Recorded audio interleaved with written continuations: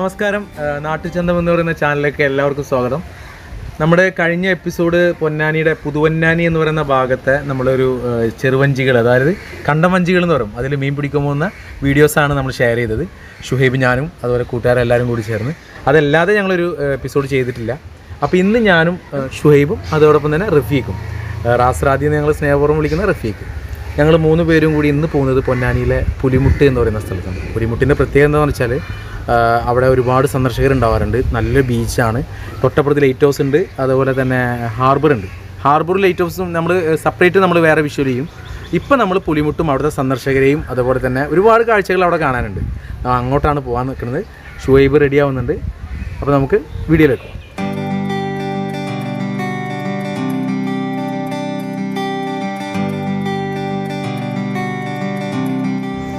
ഞങ്ങൾ പുലിമുട്ടിലേക്ക് പോകുന്നത് മെയിൻ റോട്ടിലൂടെ അല്ല. ഞങ്ങൾ ഷോയിബിന്റെ വീടിന്റെ അവിടെ നിന്ന് അങ്ങോട്ട് പടിഞ്ഞാറ് വഴിക്കുള്ള വഴിയിലൂടെ തന്നെയാണ് പോകുന്നത് ഞങ്ങൾ അവിടുന്ന് പടിഞ്ഞാറ് വഴി വന്ന് നേരെ മെയിൻ റോഡിലേക്ക് കയറി ഇപ്പം നമ്മുടെ പൊന്നാനി കോടതിയുടെ അടുത്ത് എത്തിയിട്ടുണ്ട് കോടതിയുടെ അടുത്ത് കൂടി ഹാർബറിലേക്ക് പോകുന്ന വഴിയുടെ ലെഫ്റ്റ് തിരിഞ്ഞാണ് നമ്മൾ പുലിമുട്ടിലേക്ക് പോകുന്നത്. ഇവിടെ ഒരുപാട് ബോട്ടുകൾ നിർത്തിയിട്ടിട്ടുണ്ട്. അത് കാണുമ്പോൾ തന്നെ ഒരു പ്രത്യേക ചന്തമാണ്.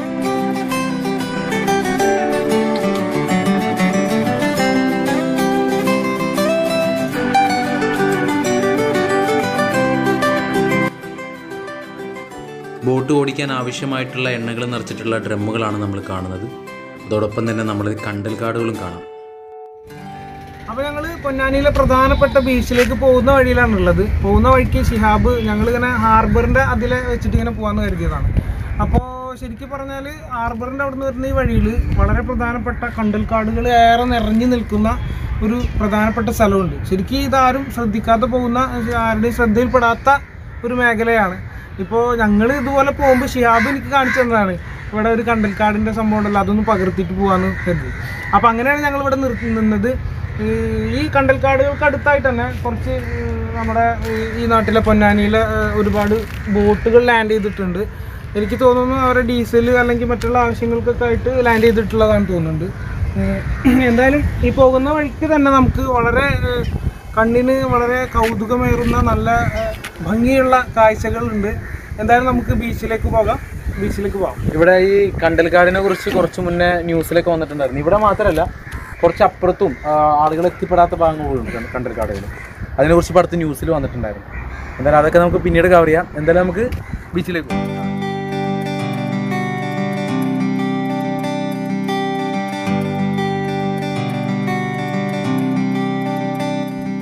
പൊന്നാനിയുടെ കടലിന്റെ സൗന്ദര്യം ആസ്വദിക്കാൻ പുറത്തു നിന്നും നാട്ടിൽ നിന്നും ഒരുപാട് പേര് വന്നിട്ടുണ്ട്. കടലിനോട് ചേർന്ന് നിൽക്കുന്ന ലൈറ്റ് ഹൗസ് എന്നും പൊന്നാനിയുടെ തീരത്തിന് അഴക് നൽകുന്ന തന്നെയാണ് ഒരു പ്രത്യേക ഭംഗിയാണ്.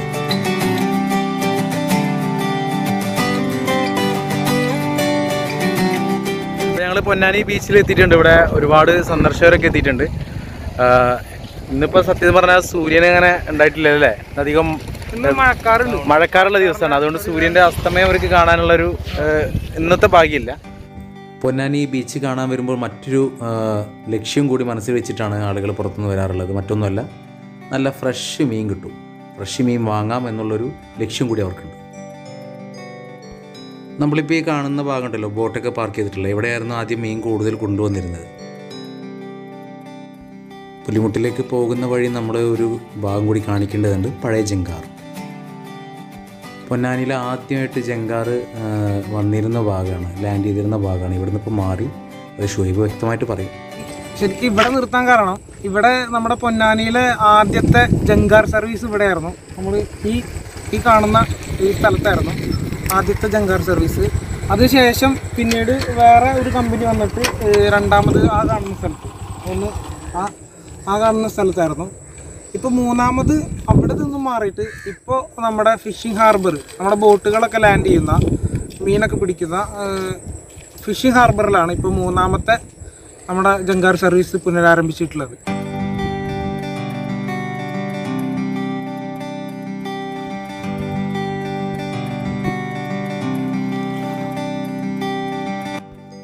അവിടുന്ന് വീണ്ടും പുലിമുട്ടിലേക്ക് പോകുന്ന വഴി ഒരു കല്ലുമൽ എഴുതി വെച്ചിട്ടുണ്ട്.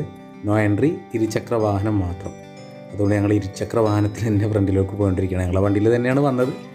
ഞങ്ങൾ പുലിമുട്ടിന്റെ ഒരു ഫ്രണ്ട് ഭാഗത്ത് എത്തിയിട്ടുണ്ട് കിടക്കുന്ന ഭാഗത്ത് എത്തിയിട്ടുണ്ട് എന്താണ് പുലിമുട്ട് എന്താണ് അതിന്റെ ഉദ്ദേശം എന്നുള്ളതൊക്കെ നമ്മൾ പറയാം. ഇപ്പോൾ ഇവിടെ ഒരു പ്രത്യേകത എന്ന് വെച്ചാൽ ഇവിടെ ഒരുപാട് ചൂണ്ടയിടുന്ന ആളുകളുണ്ട്. മീൻ പിടിക്കാൻ വേണ്ടിയിട്ട് വരുന്ന ഒരുപാട് പേരുണ്ട്. കാലത്തുണ്ടാവും അതുപോലെ രാത്രി വരുന്ന ആളുകളുണ്ട്. അപ്പോൾ നമുക്ക് അങ്ങോട്ട് പോവാം. അതിന് മുന്നേ ഇവിടെ ചൂണ്ടയിടുന്ന ഏട്ടനാണ് പ്രത്യേകിച്ച് പറയാനുള്ളത് ഇവിടേക്ക് ശരിക്കും ഇരുചക്ര വാഹനങ്ങൾക്ക് മാത്രമേ പ്രവേശനമുള്ളൂ. ആ ബോർഡ് നമ്മൾ ഇതിൽ കാണിച്ചു. കാണിച്ചു അതെ അതെ. ശരിക്ക് അങ്ങനെ പാടുള്ളൂ. എന്നാലും ചിലരൊക്കെ റിസ്ക് എടുത്ത് വരും. ശരിക്കും ഓഫ് റോഡ് പോലെയാണ്. എന്തായാലും നമുക്ക് അങ്ങോട്ട് പോയേക്കാം. എല്ലാവർക്കും ആഗ്രഹമുള്ള പോലെ ഞങ്ങൾക്കും ലോകം മൊത്തം ചുറ്റി കാണാനുള്ള ആഗ്രഹമൊക്കെ ഉണ്ട്. പക്ഷേ നമ്മുടെ നാട് മൊത്തം ഒന്ന് കണ്ട് ആസ്വദിക്കട്ടെ. നമ്മുടെ പൊന്നാനി തീരത്തിന്റെ ഈ കാറ്റും സൗന്ദര്യവും എത്ര വർണിച്ചാലും തീരില്ല വെച്ചമാരെ ഏട്ടാ ഇവിടെ സ്ഥിരം വരാറുണ്ടോ? അതല്ല എവിടെ? സ്ഥലം എവിടെ? ചാവക്കാട്. ആ. നമ്മുടെ അറിവിൽ ഒരുപാട് പേര് ഇവിടെ വരലുണ്ട്. ഏകദേശം ഈ ടൈമിൽ തന്നെയാണോ വരിക? രാവിലെ പുലർച്ചെ മൂന്ന് മണിക്ക്. പുലർച്ചെ മൂന്ന് മണിക്ക്. പണിയപ്പോഴൊക്കെ അതിനനുസരിച്ച്. മീനെ കിട്ടാറില്ലേ? മീനെ കിട്ടില്ലല്ല? നമുക്കൊരു എന്റർടൈൻമെന്റ് അതെ അതെ അതെ. എന്തായാലും എൻജോയ് ഏകദേശം പുലിമുട്ടിന്റെ അടുത്ത് എത്തിയിരിക്കുകയാണ് അതിന്റെ ആ ഒരു ഫ്രണ്ട് ഭാഗത്തേക്ക് നടന്നുകൊണ്ടിരിക്കുകയാണ് റഫീഖ് റഫീഖും ഷുഹൈബും നല്ല തള്ളി തള്ളിയിട്ട് പോയിക്കൊണ്ടിരിക്കുന്നത് എന്താ പറയണമെന്നൊരു പിടുത്തമല്ല പിന്നെ ഇത് കൃത്യമായിട്ട് സ്ഥലം പറയുകയാണെങ്കിൽ പൊന്നാനി സ്റ്റാൻഡ് കഴിഞ്ഞാൽ നമ്മുടെ കോടതി കോടതിപ്പടി റോഡ് ചോദിക്കുക കോടതിപ്പടി വന്നു കഴിഞ്ഞാൽ പിന്നെ ലെഫ്റ്റ് തിരിഞ്ഞാൽ നമ്മുടെ പൊന്നാനി ബീച്ചാണ് ഇതിന്റെ ലൊക്കേഷൻ ഇങ്ങനെ പറഞ്ഞു തന്നു പക്ഷെ ആർക്കും അങ്ങനെ മനസ്സിലായിട്ടുണ്ടാവില്ല. നമ്മളെ നാടൻ സ്ഥലങ്ങളും ഈ ഭാഗങ്ങളൊക്കെ കാണാൻ ആസ്വദിക്കാൻ ആഗ്രഹിക്കുന്നവർക്ക് വേണ്ടി നമ്മളിത് ഇവിടുത്തെ ഈ ലൊക്കേഷൻ നമ്മൾ ഡിസ്ക്രിപ്ഷൻ ബോക്സിൽ ഇടുന്നുണ്ട്. പിന്നെ പൊന്നാനിനെ കുറിച്ച് പറയുകയാണെങ്കിൽ നമ്മൾ കവർ ചെയ്യാൻ പ്ലാൻ ചെയ്തിട്ടുള്ള കുറച്ച് വീഡിയോസ് ഉണ്ട്. കാരണം പൊന്നാനി എന്ന് പറഞ്ഞാൽ നമ്മുടെ ബോംബെ മുംബൈയുമായിട്ട് ഒരുപാട് കണക്ഷൻസ് ഇവിടെ പായക്കപ്പൽ പണ്ട് എല്ലാ ചരക്കുകളും അതേപോലെ തന്നെ എല്ലാം വന്നുകൂടിയത് നമ്മളെ പൊന്നാനിയിലായിരുന്നു. അതേപോലെ തന്നെ ഹിന്ദുസ്ഥാനി സംഗീതം കവാലികൾ ഗസലുകൾ മാപ്പിളപ്പാട്ടുകൾ എല്ലാം പൊന്നാനി പൊന്നാനിൽ ഒരുപാട് ആർട്ടിസ്റ്റുകളുണ്ട് അത് തബലിസ്റ്റ് ആണെങ്കിലും ഹാർമോണിസ്റ്റ് ആണെങ്കിലും പാട്ടുകാരാണെങ്കിലും എല്ലാവരും ഒരുപാട് പേരുണ്ട്. നമ്മുടെ ബാബുക്കയുമായിട്ട് ബാബുക്ക് ഒരുപാട് തവണ പൊന്നാനി വന്നിട്ടുണ്ട് പാടിയിട്ടുണ്ട്. പണ്ടത്തെ കാലത്ത് ഒരുപാട് ആളുകൾക്ക് അറിയാതെ.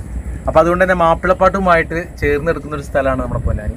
പിന്നെ ഞങ്ങൾ മുന്നേ പറഞ്ഞിട്ടില്ല ഞങ്ങൾ സിംഗേഴ്സും കൂടി ആയതുകൊണ്ട് ഒരു പാട്ട് ഒരു മാപ്പിളപ്പാട്ട് നമുക്കിവിടെ പ്രത്യേകം നമ്മുടെ പൊന്നാനിക്കാർക്കും ഇത് കാണുന്ന എല്ലാ പ്രേക്ഷകർക്കും വേണ്ടിയിട്ട് പാടും. ഒരു കുലമുന്തിരി വാങ്ങിടുവാനായി നാലണ കയ്യിൽ ഉണ്ടു പ്രിയേ കൽബിലൊരാശ മുന്തിരി തിന്നിടുവാൻ. ഉണ്ടു സഖി ഒരു കുലമുന്തിരി വാങ്ങിടുവാനായി നാലണ കയ്യിൽ. ഉണ്ടു പ്രിയേ കൽബിലൊരാശ മുന്തിരി തിന്നിടുവാൻ. അങ്ങാരേ എന്നറിയില്ലേ നിങ്ങളീ നാട്ടിലെ രാജാവല്ലേ? അങ്ങ് വെറും നാലണയില്ല യാചകനായെന്നോ? പ്രാണസഖി നന്നായി അറിയാം ഞാൻ ഈ നാട്ടിലമീറാണെന്ന് എന്നാലും എന്റെതായൊരു ദീർഘവുമില്ല പ്രിയേ. അമവിയ രാജകുമാരൻ സുഗനോലിബനാൽ ലിബുൽ റസീസ് അധികാരം കൈവന്നപ്പോൾ പൊന്നാനിയെ കുറിച്ച് പറയുകയാണെങ്കിൽ പൊന്നാനി അതിപുരാതനമായ ഒരു വ്യവ- വ്യാവസായിക പട്ടണമാണ് പൊന്നാനി. പൊന്നാനിയിലാണ് ശരിക്കും പറഞ്ഞാൽ എല്ലാ തരത്തിലുള്ള വ്യവസായങ്ങളും പണ്ട് നടന്നിരുന്നത്. ശരിക്കും കൊച്ചിയൊക്കെ വരുന്നതിനേക്കാൾ മുമ്പ് കൊച്ചിയിലെ കൊച്ചിയൊക്കെ ഇത്ര വ്യാവസായികമായി ഉയരുന്നതിനേക്കാളൊക്കെ മുമ്പ് പൊന്നാനിയിലായിരുന്നു? മിക്ക വ്യവസായങ്ങളും നടന്നിരുന്നത് എന്നാണ് എന്റെ ബാല്യത്തിലുള്ള ആളുകളൊക്കെ പറഞ്ഞു തന്നിട്ടുള്ളത്. ഒരുപാട് കവികൾ അതുപോലെ ചരിത്രകാരന്മാർ ഒരുപാട് നേരത്തെ ഷിഹാബ് പറഞ്ഞ പോലെ തന്നെ ഹിന്ദുസ്ഥാനി സംഗീതവുമായി ബന്ധപ്പെട്ട ഒരുപാട് പാട്ടുകാർ ഇന്നും ജീവിച്ചിരിക്കുന്ന വളരെ ചുരുക്കം ചില ആളുകളുണ്ടെങ്കിലും അവരെ മക്കളിലൂടെയൊക്കെ ആ ഹിന്ദുസ്ഥാനി സംഗീതമൊക്കെ നമുക്ക് പകർന്നു നൽകിയിട്ടുണ്ട്.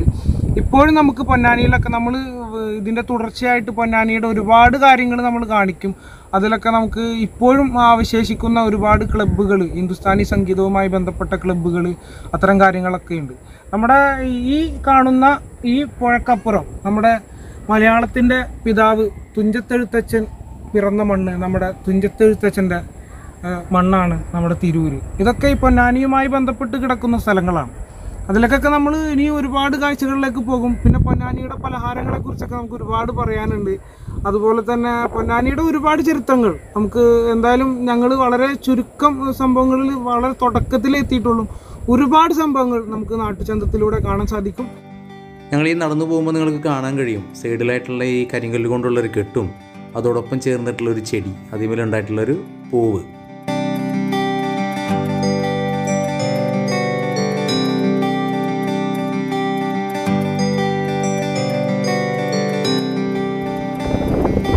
നമ്മളിപ്പോൾ ഈ കാണിക്കുന്ന വീഡിയോയിൽ നമ്മുടെ റൈറ്റ് സൈഡിൽ ആ അങ്ങ് കാണിക്കുന്ന ഭാഗം പുഴയാണ്. ആ പുഴ ഇങ്ങനെ ഇങ്ങനെ വന്ന് നമ്മുടെ നേരെ ഇങ്ങോട്ട് വന്നു കഴിഞ്ഞാൽ ഈ പുഴ നേരെ കൂടിച്ചേരുന്നത്. എന്താ ഇത് കടലാണ്. ഒരുപാട് ആഴമുള്ള ഭാഗമാണ് ഒരുപാട് ആഴമുള്ള ഭാഗമാണ് നമുക്ക് നേരെ കാണാൻ കടൽ ഇപ്പോൾ നമ്മളൊരു ബോട്ട് കാണുന്നുണ്ടല്ലോ കടലിൽ നിന്ന് പുഴയ്ക്ക് പോവാണ് മീൻ പിടിച്ചിട്ട്.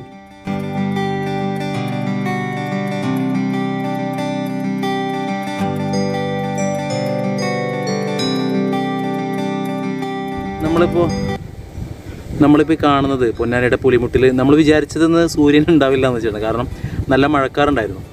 പക്ഷേ സൂര്യൻ ഉണ്ടായിരുന്നു.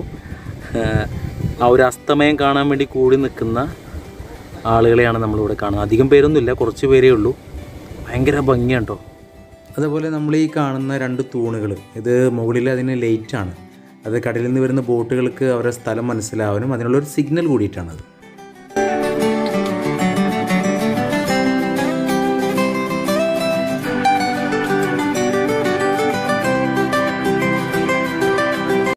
ശരിക്കും ഇംഗ്ലീഷിൽ ബ്രേക്ക് വാട്ടർ എന്നാണ് പറയുന്നതെങ്കിലും മലയാളത്തിൽ പുലിമുട്ട് അങ്ങനെയൊക്കെ എന്തൊക്കെ ഞാൻ കേട്ടിട്ടുണ്ട്.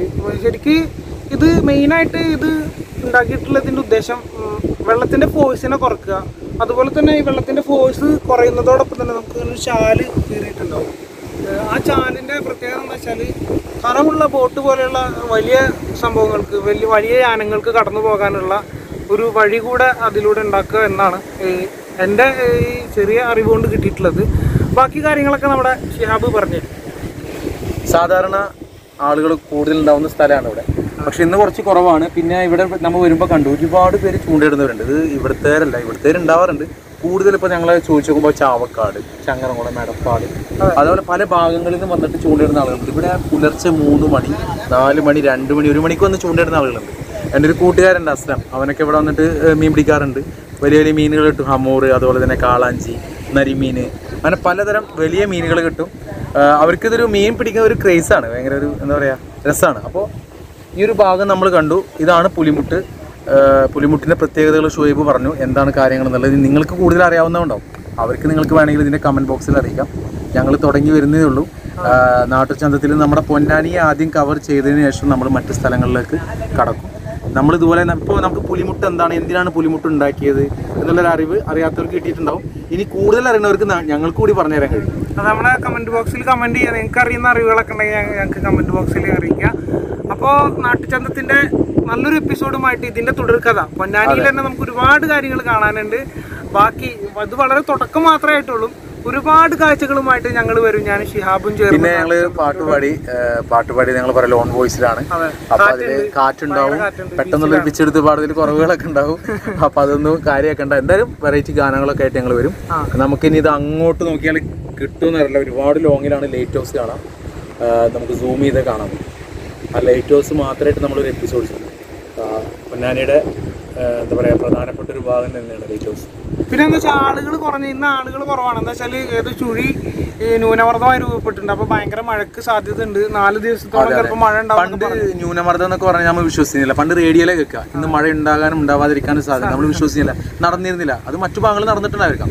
പക്ഷെ ഇപ്പൊ ന്യൂനമർദ്ദം എന്ന് കേൾക്കുമ്പോൾ നമുക്ക് പേടിയാണ് കാരണം രണ്ടായിരത്തി എത്രയിലാണ് ഫസ്റ്റത്തെ പ്രളയം നടന്നത്? രണ്ടായിരത്തി പത്തൊമ്പതിലാണ്? രണ്ടായിരത്തി പത്തൊമ്പതിൽ ആ പ്രളയം നടന്നതിന് ശേഷം ഇപ്പൊ രണ്ട് പ്രളയം ഉണ്ടായി. അതുപോലെ ഒരുപാട് ന്യൂനമർദ്ദം കേൾക്കുന്നേ പേടിയാണ് നല്ലൊരു എപ്പിസോഡുമായിട്ട് ഞങ്ങൾ വീണ്ടും വരും. തൊട്ടടുത്തുള്ള ഹാർബറുമായിട്ടാണ് ഇനി ഞങ്ങൾ അടുത്ത് വരാൻ പോകുന്ന വീഡിയോ അപ്പോൾ നമ്മുടെ ചാനൽ സബ്സ്ക്രൈബ് ചെയ്യാൻ നമ്മുടെ പേജ് ഓപ്പൺ ചെയ്യുന്നുണ്ട് നാട്ടിൽ ചെന്നും. അത് ഫോളോ ചെയ്യുക. അതുപോലെ ഇൻസ്റ്റയിൽ ഫോളോ ചെയ്യുക. അപ്പോൾ ഓക്കെ ഇപ്പോൾ ഇത്രയും നേരം ഞങ്ങൾ സംസാരിക്കുമ്പോൾ വീഡിയോ എടുത്തിരുന്നത് നമ്മുടെ ഈ ഒരു മഹാനാണ്. ഞങ്ങളെ നാട്ടുകാരനും അതിലുപരി ഞങ്ങളെല്ലാം സപ്പോർട്ട് ചെയ്യുന്ന ഒരു കലാകാരൻ. റഫീഖ് എന്നാണ് പേര്. ഞങ്ങൾ സ്നേഹപൂർവം റാസ് റാദി എന്ന് വിളിക്കും. ഇദ്ദേഹം ഇദ്ദേഹത്തെക്കുറിച്ച് നമ്മളൊരു എപ്പിസോഡ് തന്നെ ചെയ്യുന്നുണ്ട്. നമ്മുടെ നാട്ടിലെ കലാകാരന്മാരെ വെച്ചൊരു നമ്മളൊരു പരമ്പര പ്ലാൻ ചെയ്യുന്നുണ്ട്. അതിലൊരു മെയിൻ കഥാപാത്രമാണ് ഇദ്ദേഹം. അപ്പോൾ ഡീപ്പായിട്ട് നമ്മൾ അപ്പോൾ പറയും. ഇപ്പം നമ്മൾ പറഞ്ഞ് പറയുന്നില്ല. അതൊരു സസ്പെൻസ് ആയിട്ട് കിടക്കട്ടെ. പോരെ?